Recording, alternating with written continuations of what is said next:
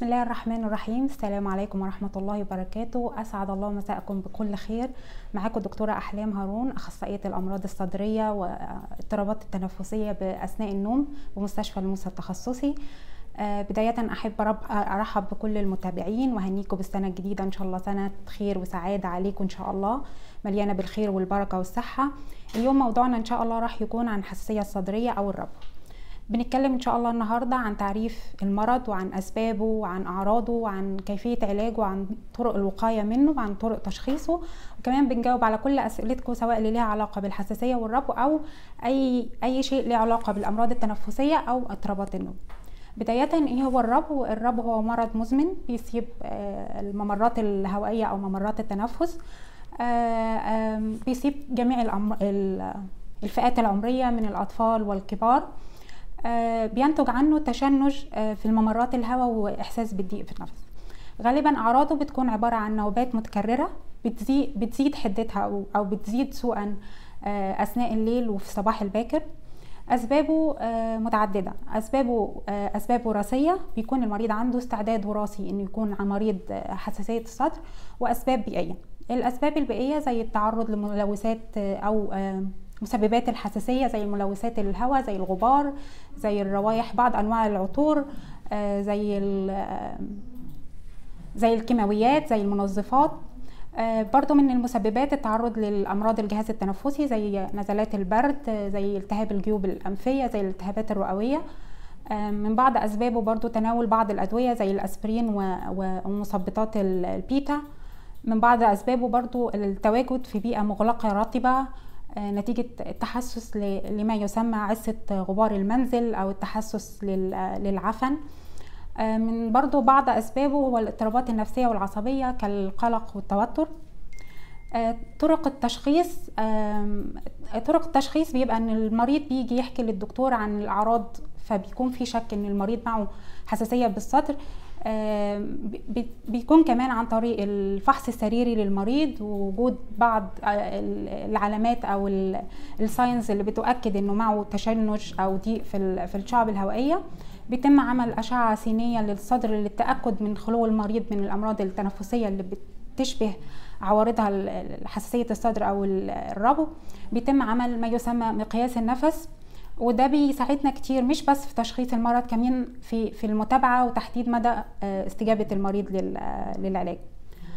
آم، إيه هي أعراض المرض؟ أعراض المرض زي ما إحنا اتكلمنا قلنا إن هي نوبات متكررة بتيجي على نوبات متكررة بتكون أسوأها آه، أو بتكون من السوء.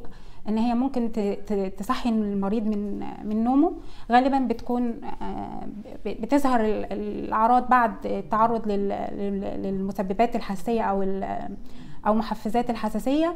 وغالبا بتبقى سيئة جدا آه، في حدتها أثناء الليل والصباح الباكر الأعراض دي زي سعال متكرر زي ضيقة في النفس زي إحساس بتقل وثقل آه، وألم بالصدر. علاج المرض بيبقى أهم شيء في علاج الحساسية هو البعد آه، التام عن مسببات ال- الحساسية أو محفزات الحساسية زي تجنب الغبار تجنب العطور تجنب الأدخنة الإقلاع عن التدخين. أخذ التطعيم ال- الإنفلونزا سنويا عشان نتجنب حدوث نزلات البرد وال- والإنفلونزا. آه، تجنب الاختلاط بالمرضى المصابين بأمراض تنفسية عشان تجنب حدوث العدوى. أيضا آه، آه، علاج دوائي. العلاج الدوائي بيبقى غالبا في صورة بخاخات بياخدها المريض. البخاخات بتشتغل بطريقتين. أول طريقة إن هي موسعات للشعب الهوائية بتعمل على توسيع الشعب الهوائية أو ممرات الهواء. وهي في نفس الوقت مضادات للالتهابات بتساعد على إن تقليل الالتهاب اللي حاصل في جدار الممرات الهوائية أو الشعب الهوائية وبالتالي يتحسن آه، عملية التنفس ويتحسن الشعور بالضيق والسعله وما إلى ذلك. دلوقتي ممكن نجاوب على بعض أسئلتكم ويا ريت آه، آه، ترسلوا لنا الأسئلة اللي أنتوا آه، شغلاكوا أو تحبوا تستفسروا عنها سواء في موضوع الحساسية أو أي موضوع تاني. أول سؤال بيقول أنا ما عندي ربو بس دايما أحس بضيق في نفس ومرات يكون عندي اضطراب بالنوم. هو السؤال جميل جدا وبيفتح آه، الكلام في موضوع تاني يخص تخصصي وهو موضوع اضطرابات التنفسية أثناء النوم. مش كل مريض بيحس بضيقه في النفس أكيد إنه مريض ربو أو حساسية على الصدر. أسباب ضيقة النفس أسباب عديدة قد تكون لها علاقة بالأمراض الصدرية أو بالرئة أو ممكن تكون نتيجة أمراض في عضلة القلب أو زي ما ما المتابع ذاكر إنه يكون عنده اضطراب في في النوم. هو كاتب إنه في ضيق في النفس واضطراب في النوم. ممكن يكون ضيقة النفس دي تكون فعلا يكون معه ربو بس بتكون بتجيله بصورة متكررة بتحصل على نوبات متكررة وبتزيد شدتها آه، أثناء الليل وده اللي ممكن بيخليه مش بيقدر ينام بصورة آه، كافية وبيحس إن نومه مضطرب. فممكن يكون فعلا ضيقه النفس اللي عنده هي ربو وبيزيد حدة الربو عنده في في المساء فما بيقدرش ينام كويس. وممكن يكون العكس ممكن يكون هو عنده حاجة اسمها توقف انسدادي في النفس أثناء النوم أو أو أو اضطراب اضطرابات تنفسية أثناء النوم ودي اللي بتخليه ما بياخدش كفايته من النوم والنوم بيبقى فيه اضطرابات وبيكون نوم متقطع وبتسبب على عضل بتسبب ضعف في عضلة القلب. و... و... وبتسبب ضعف في عضلة القلب وبتخلي في آه كتمة. السؤال التاني بيقول أنا عندي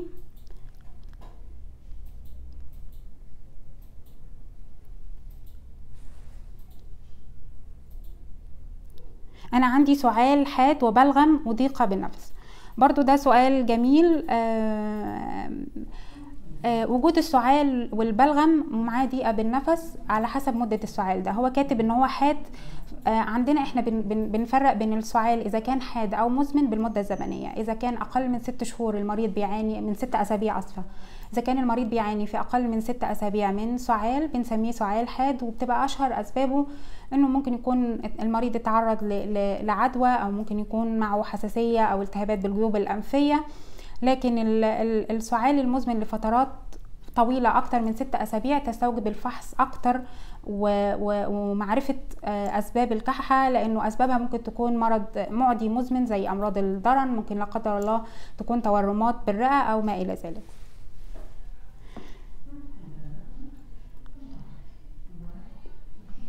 سؤال تاني بيقول أحيانا أحس فجأة بألم بكل منطقة الصدر خاصة القلب لدرجة إني لما أتنفس بعمق الألم يزيد. آه والألم بيزيد حتى مع تحريك الجسم مع العلم إني معي كهرباء زيادة بالدماغ.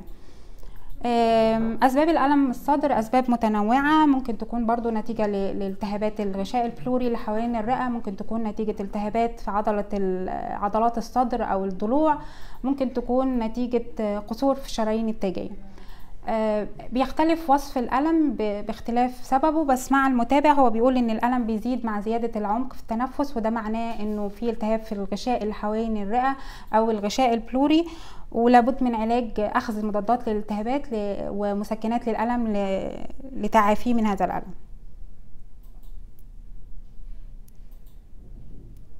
في مريض تاني كاتب إيش علاج تسكر الأنف وقت النوم؟ آه، اولا لازم نعرف إيه سبب تسكر الأنف عشان نقدر نعالجه. إذا كان علاج تس... إذا كان سبب تسكر الأنف هو مشكلة تشريحية خلقية زي اعوجاج في الحاجز الأنفي أو تضخم في غضاريف الأنف بيكون العلاج آه، تدخل جراحي لتصحيح هذا العيب آه، التشريحي. أما إذا كان أسبابه نتيجة حساسية بالأنف ينصح بأخذ بخاخات الأنف ومضادات الحساسية. أما إذا كان اسبابه آه، السمنة المفرطة وزيادة محيط الرقبة فلابد من آه، آه، تخفيف الوزن تقليل الوزن لعلاج هذا هذه المشكلة.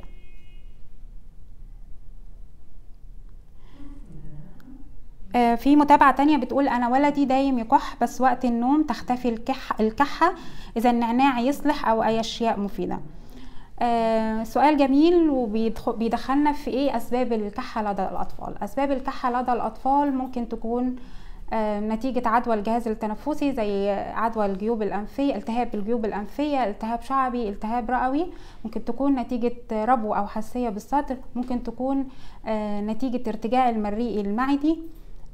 ودي بيكون سبب لكحة مزمنة لدى الطفل. و... و... وتص... بتكون شديدة إذا استلقى على ظهره.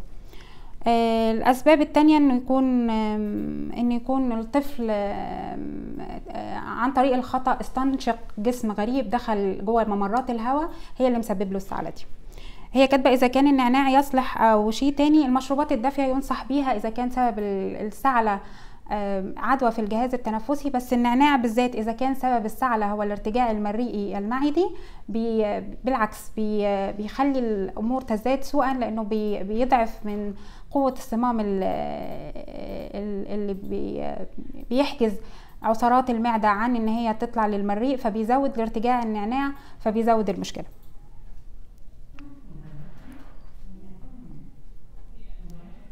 عندي ربو وأولادي ورثوه مني ويش الحل؟ آه هو مو ضروري إن ال ال ال ال إن الأولاد ياخدوا الربو من الوالد أو الوالدة بس قد تحدث لأن زي ما إحنا شرحنا في أسباب الربو إنه في أسباب وراثية وأسباب بيئية. ويش الحل؟ هو زي ما إحنا حكينا هو مرض مزمن بيصيب المريض وبيكون ليه عامل شق وراثي نتيجة استعداد وراثي ليه عند المريض. بس أهم شيء في العلاج هو تجنب مسببات الحساسية. إذا الأولاد تجنبوا مسببات الحساسية إن شاء الله نوبات الربو بتقل جدا وبيعيشوا حياتهم حياة طبيعية. ينصح باستشارة الطبيب لتأكيد إن إن كانوا الأولاد فعلا بيعانوا من الربو أيوه أو لأ.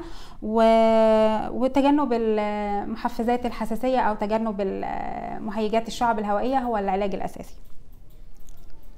سؤال تاني هل ممكن أن تسبب اللحمية ربو أو حساسية؟ ده سؤال جميل. لا هي اللحمية مش بتسبب ربو أو حساسية بس هما الاتنين بيكونوا نتيجة إصابة المريض بالحساسية اللي بيكون عنده المرضين. بيكون عنده لحميات نتيجة تحسس في الأنف وال, وال... وممرات والجيوب الأنفية ويبقى عنده تحسس كمان في الصدر فبيكون عنده ربو فبيكون عنده مرض الحساسية مسبب له الاثنين مسبب له اللحميات. وحساسية الصدر بس مش مش إن الحساسية بتسبب اللحمية ولا إن اللحمية بتسبب الحساسية ولكن علاج التهابات الجيوب الأنفية وعلاج حساسية الجيوب الأنفية مهم جدا لضمان كفاءة علاج حساسية الصدر ولضمان تقليل عدد نوبات الحساسية وتقليل تكرار العوارض تنصحي بإبرة الرب والزولير؟ الزولير ده علاج جديد بيستخدم في في في علاج الربو بس مش كل أنواع الربو. بننصح فيها إذا المريض وصل لمرحلة إن إحنا استخدمنا أغلب أدوية الربو المتعارف عليها ولم نحصل على النتيجة المرجوة أو المطلوبة وما زال المريض معه أعراض تؤثر على على على حياته اليومية بشرط إن يكون عنده الأجسام المضادة اي أو اي جي اي عالي. إذا الاي جي اي عالي وقتها بيبقى نوع الحساسية اللي عنده نوع الحساسية التحسسية أو الربو التحسسي. وساعتها بننصح بالإبرة ال Xolair بتتاخد تحت الجلد بجرعات معينة بيوصفها الطبيب على فترات متباعدة كل أسبوعين أو كل شهر للتحكم في العورة. هل فعلا أدوية الكحة ضارة وما هو البديل الطبيعي للعلاج؟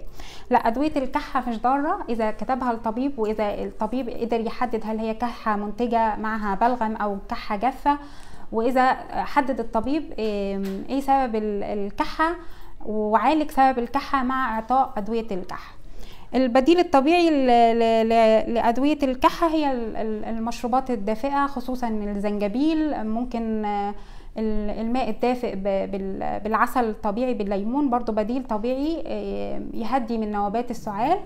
بس زي ما قلنا أهم شيء هو علاج سبب الكحة قبل إعطاء أدوية الكحة فقط.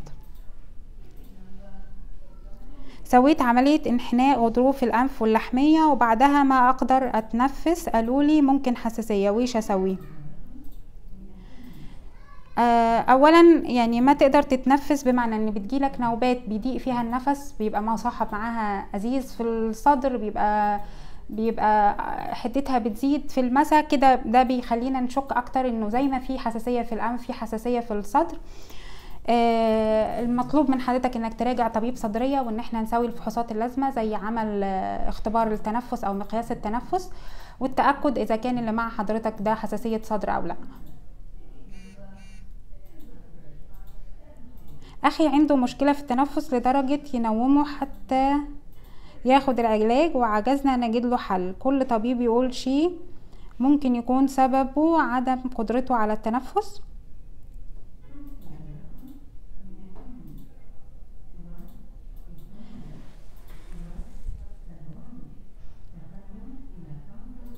ما فهمت السؤال قوي بس اللي فهمته إن الاخو المريض بيعاني من مشكلة في التنفس لدرجة إن هو ما بيقدر ينام معها طبيعي. آه وإنه راح راجع أكتر من طبيب وإنه ما وصلش للتشخيص النهائي. إذا كان المريض بيجيله اضطرابات تنفسية في النوم يعني إنه ما بيقدر يتنفس طبيعي وبيفوق بيستيقظ أثناء النوم كتير مرات كتيرة وده بيحيل دون إنه ينام نوم طبيعي ومصاحب كده أصوات شخير. نعاس نهاري صداع نهاري. كده بنبتدي نشك إن المريض معه اضطرابات تنفسية أثناء النوم. ووقتها آه، الحل الوحيد إن إحنا نعمل له دراسة نوم إنه يتنوم في مختبر النوم ونشوف كل العلامات الحيوية في جسم المريض أثناء النوم ونحدد إذا معه اضطرابات تنفسية في أثناء النوم أو توقف ليلي في النفس أثناء النوم. وقتها بيبقى العلاج آه، يا إما تدخل جراحي لتوسعة مجرى الهواء أو جهاز جهاز تنفس ليلي بيتم توصيله للمريض أثناء النوم آه، فيما يطلق عليه السيباب لا أحظى بنوم جيد ودائما أقوم من النوم على ضيق تنفسي أو كتمة بالصدر. آه عزيزي المتابع دي أعراض تقول إنه ممكن يكون معك آه حاجة من اتنين يا إما معك حساسية بالصدر وبيكون آه ضيقة النفس آه أعراضها بتشتد أثناء الليل وده بيخليك مش قادر تاخد نفسك بس غالبا بيكون مصاحب معاها سعال وصوت أزيز من الصدر أو إن يكون معاك مشكلة تنفسية آه أو اضطرابات تنفسية أثناء النوم أو ما يطلق عليه آه التوقف الانسدادي أو التوقف الليلي في النفس. وزي ما قلنا لحضرتك تقدر تتوجه للمستشفى نسوي لحضرتك الفحوصات لاستبعاد الحساسية عن طريق مقياس النفس ولاستبعاد اضطرابات النوم عن طريق اختبار النوم. أشعر بوخز في الصدر على فترات متباعدة ويأتي ويذهب من تلقاء نفسه. تمام. آه، الشعور بالوخز في الصدر آه، آه، إذا ما له علاقة بالمجهود يعني إذا المريض ما بيجي الوخز نتيجة عمل مجهود بدني فغالبا بيكون القلب سليم ما بيكون مشكلة في القلب. الشعور بالوخز على فترات متتابعة ممكن يكون التهابات بالعضلات بين الضلوع أو التهاب أو نتيجة عمل مجهود بدني عنيف أو نقص فيتامين د. ينصح بإن إحنا نشيك على فيتامين د نشوف نسبة فيتامين د في الدم ونفحص المريض فحص جيد ونتأكد من خلو الرئة والقلب من أي مشاكل. آه، بس ده شيء يا إما كمان ممكن يكون التهاب في الأعصاب الطرفية نتيجة إذا كان المريض مصاب بالسكري أو عنده نقص فيتامين ب 12 ممكن يكون برضو من أحد أسباب الوخز الإحساس بالوخز في الصدر. بس لابد من متابعة المريض وعمل متابعة المريض للطبيب وعمل آه، أشعة على الصدر وعمل آه، تخطيط قلب لاستبعاد أسباب الأسباب الأخرى لالام الصدر. في سؤال تاني صدري دايما يزعجني لو مشيت أو شميت أي تراب دايم أكح وأتضايق وما اعرف أتصرف إزاي. أوكي إن المريض بيضيق صدره أو لما يشتم تراب ده يبقى ده مريض حساسية يتصرف إزاي؟ إنه يحاول يبعد عن الغبار قدر الإمكان يعني يتجنب الخروج من المنزل في في في العواصف في أيام العواصف الترابية وإذا كان لا مفر من الخروج لل من المنزل في هذه الفترة ننصح بارتداء الكمامة.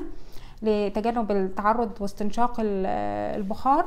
وينصح إنه أول ما ما يرجع للمنزل ياخد شاور ويغسل هدومه كلها ويلبس ملابس تانية غير اللي فيها عالق فيها الأتربة.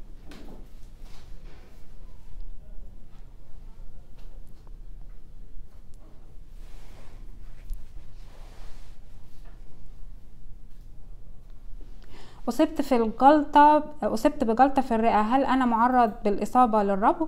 لا هو الإصابة بالربو زي ما حكينا هي أسبابها عوامل وراثية وعوامل بيئية الإصابة بالجلطة في الرئة آه، ليست عامل خطورة إن المريض يصاب بالربو بس الإصابة بالجلطة في الرئة يتحدد آه، يعني يتحدد آه، لابد من معرفة هل الإصابة بالجلطة في الرئة نتيجة وجود جلطة في أوردة الساقين نتيجة عمل عملية أو النوم فترات طويلة دون حركة ولا هي أصابت الرئة بدون وجود هذه عوامل الخطورة؟ بس ما ما ما في علاقة أبدا بين جلطة الرئة والربو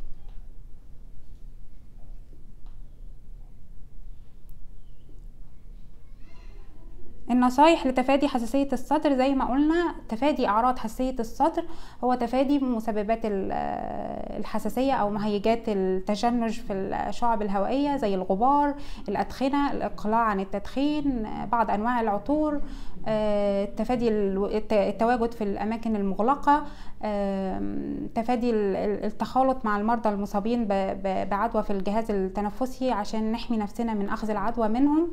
تفادي بعض الأدوية زي الأسبرين ومثبطات بيتا.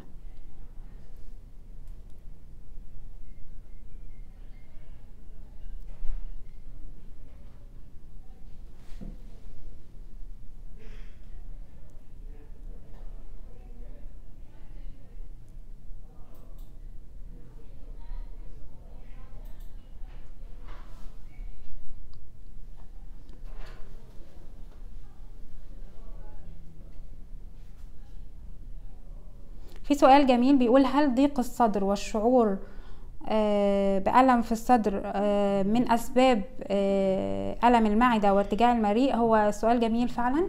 بيخلينا نتكلم عن علاقة الأعراض التنفسية أو, أو وجود ضيقة وكحة وعلاقتها بالارتجاع المريء المعدي. هو في علاقة وطيدة. أوقات كتير المريض بيشتكي من من سعال متكرر ومستمر وبيتعالج بأدوية سعلة كتير وبيشك بيبتدي يشك إن هو معه مشكلة في في التنفس أو إنه يكون مريض جهاز تنفسي.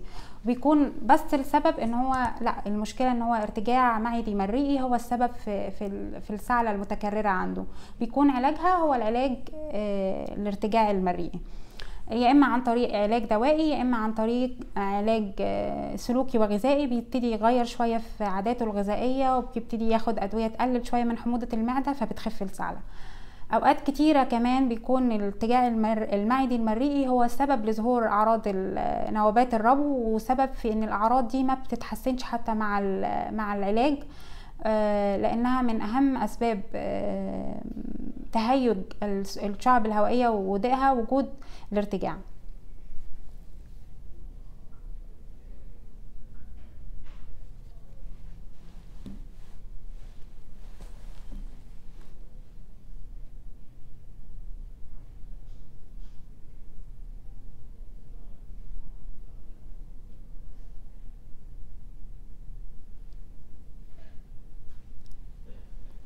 للأسف وقتنا خلص وللأسف خلصنا معاكم بس نوعدكم بلقاءات تانية إن شاء الله سواء معايا أو مع زمايلي عشان نغطي كل النواحي الصحية اللي تهمكم كل المواضيع الصحية اللي تهمكم. نتمنى لكم الصحة والعافية. سلام عليكم.